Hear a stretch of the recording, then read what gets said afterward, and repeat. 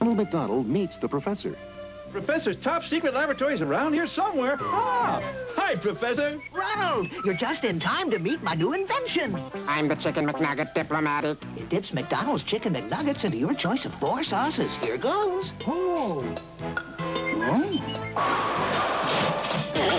Oh, God. What happened to the McNugget? He couldn't wait. I ate them all. I knew it is more. McDonald's, Ronald.